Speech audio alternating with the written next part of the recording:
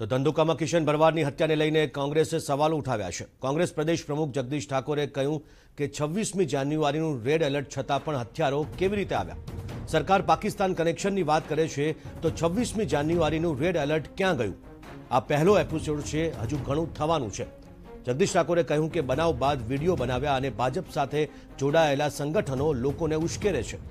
ગોધરાકાંડ પછી જેલમાં ગયેલા લોકોના પરિવારને શું તકલીફ પડી તેની કોઈને ચિંતા નથી. આ હજુ ઘણું થવાનું. આ પહેલો એપિસોડ નથી, આ શરૂઆત છે.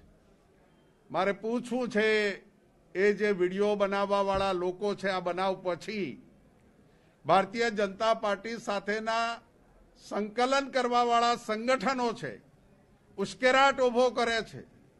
એવા લોકોને પૂછવું છે કે ગોધરાને પછીના બનાવોમાં જે હિન્દુવાદના નામ ઉપર તમે યુવાનોને ભડકાવ્યા એને સજાઓ થઈ. એ આજે પણ જેલોમાં છે. એનો કોઈ ભાવ પૂછો છો ખરા?